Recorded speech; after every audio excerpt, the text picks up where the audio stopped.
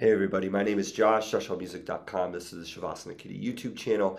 And uh, if you're just dropping in, welcome. Um, if you've been coming back, awesome. And if you subscribed, even better.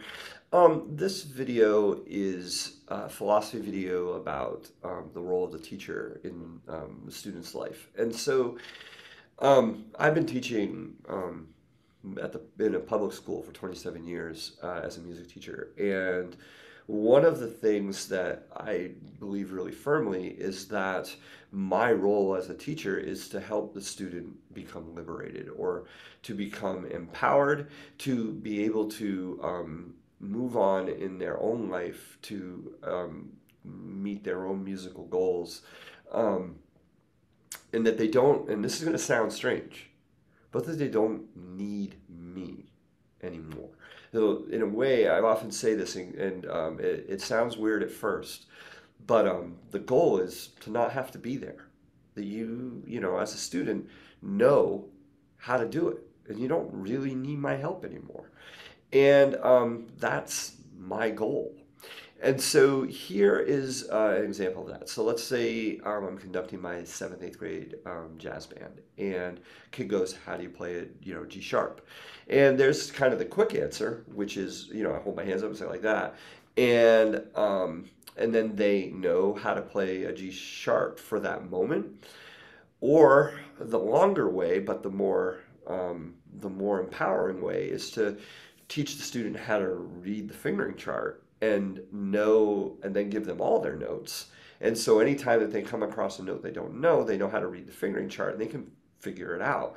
And if they have, still have questions after that, that's fine, but they've at least done the beginning work to know how to um, begin discovering for themselves. And this is true for all instruments. All instruments kind of have their own um, nomenclature for how to play things. And, you know, a guitar will have like the chord diagrams, it'll have like scale diagrams, there'll be all kinds of things. And then songs will, you know, they'll be written with like lyrics and chords or like tab or standard notation.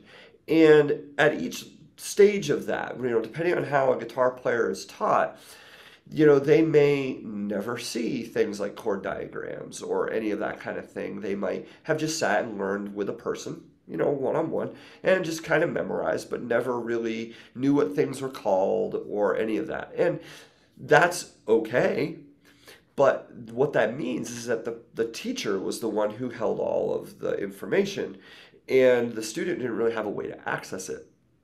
And so I firmly believe that showing somebody how to understand how to read a chord diagram, how to read tab, how to read notation liberates you. It means that you can go out and with any any way the information is given, you can digest it um, at whatever level you're working at.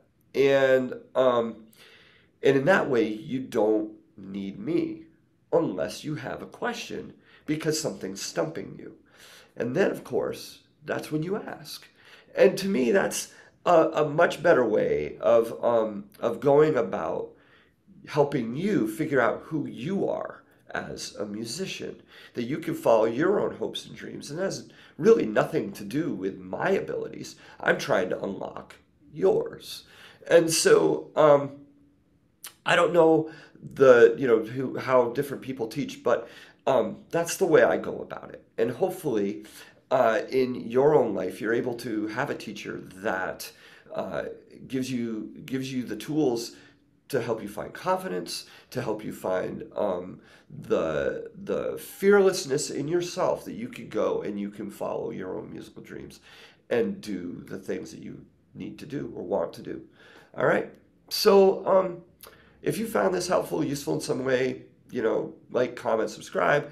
Uh, you know, maybe you'll find my newsletters useful at joshhallmusic.com. There are courses and all kinds of things on my website. Um, the goal is obviously to help you be you. All right. Have a great day. We'll see you. Bye bye.